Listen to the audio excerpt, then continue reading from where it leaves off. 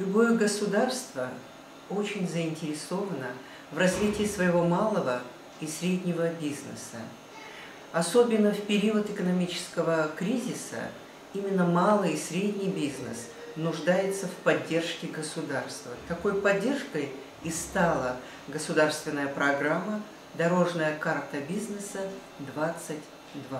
Этот проект долгосрочный и рассчитан на серьезные компании, которые уже завоевали свое место на этом рынке услуг, имеют признание, авторитет.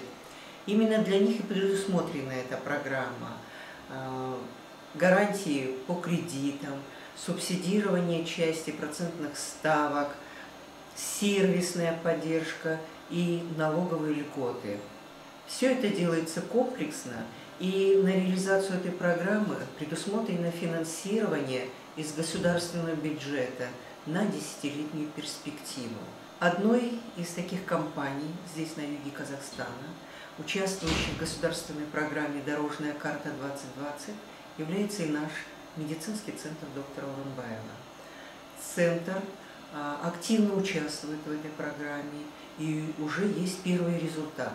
С 3 сентября работает отделение реабилитации. Уникальное, дорогостоящее оборудование куплено именно благодаря этой программе «Дорожный 2020». А, теперь у инсультных больных появилась возможность реабилитации, качественного лечения вплоть до полного выздоровления. Коллектив медицинского центра доктора Оренбаева серьезно и активно борется за здоровье своих больных.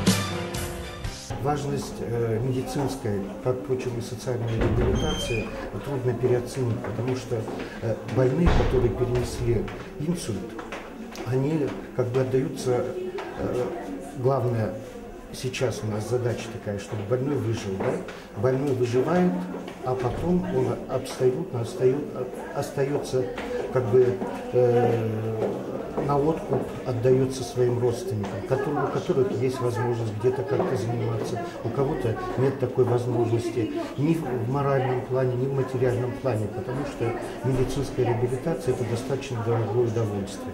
И на это тратится миллионы долларов на, э, по данным, допустим, США, на реабилитацию таких постинсультных больных или ортопедических больных. Поскольку нам важно не только сохранить человеку жизнь, но и вернуть его к может быть, не совсем прежней жизни, но хотя бы многие больные даже теряют навыки самообслуживания. Это обуза для семьи, для родственника. Поэтому хотя бы вот в этом плане э, помочь людям э, себя реабилитировать э, в социальном плане.